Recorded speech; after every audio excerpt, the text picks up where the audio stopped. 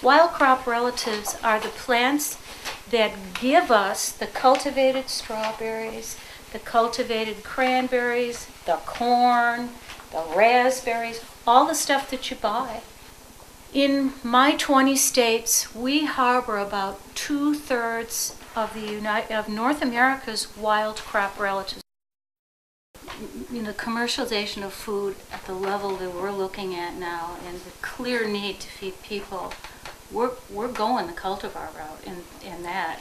And, you know, we import bees and flies to pollinate tomatoes in greenhouses because we can't get honeybees or bumblebees anymore.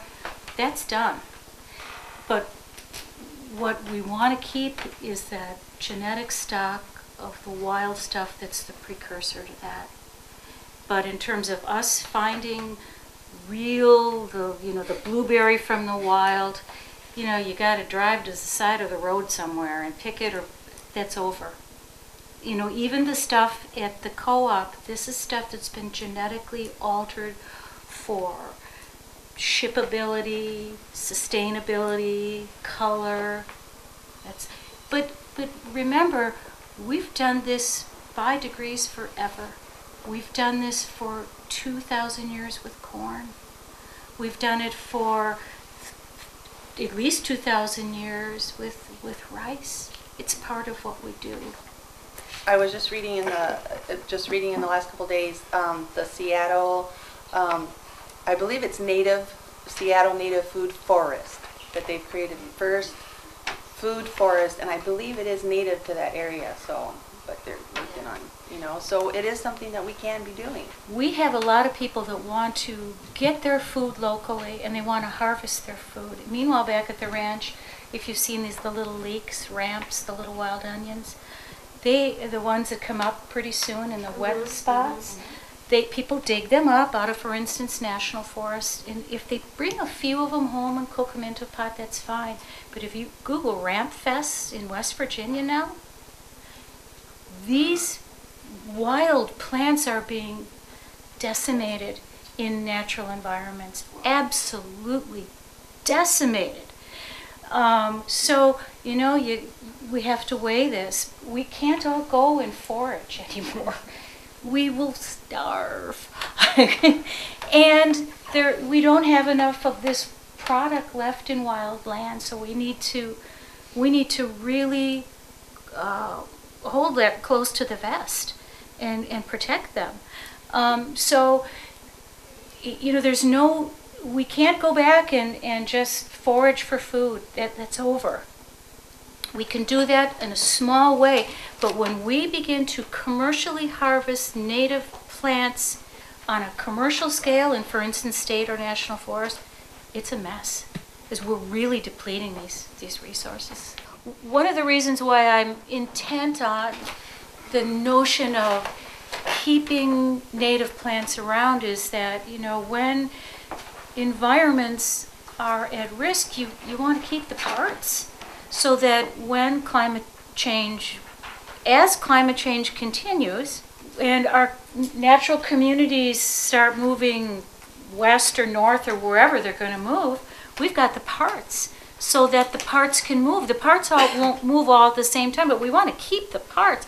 I feel like the hen, you know, with the wings over the chicks, you know, like this. We want to keep the parts. And one example of that has to do, this will be my last point, crop wild relatives. We talk about keeping the parts. We say that wild plants are useful, but here are some real examples. I started on this project about a year ago and I've learned a lot, I've invested a lot of time in it. In my 20 states, we harbor about two thirds of the United, of North America's wild crop relatives. What is that?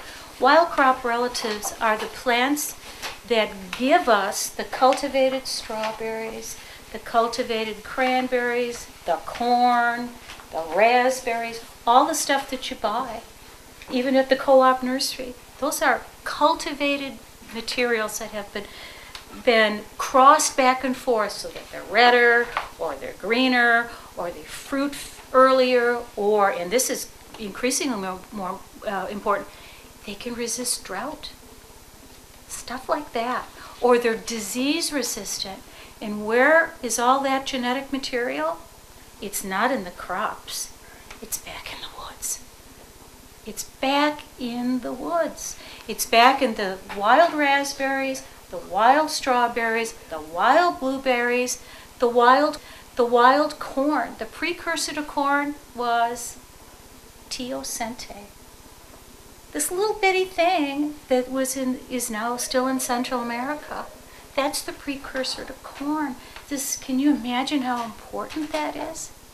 So we've been collecting this seed in on the national forest and putting it in long-term seed storage. We have a facility in Fort Collins, Colorado to do that. So that we we're keeping the parts. And some of these scary, scary important agricultural crops, maybe you've heard of the in uh, Spitsbergen, Norway, an island off of Norway, was an old abandoned copper mine called Doomsday Vault. off of off of an island in Norway. I've got a picture of it for our Zaki Wings and Seeds project.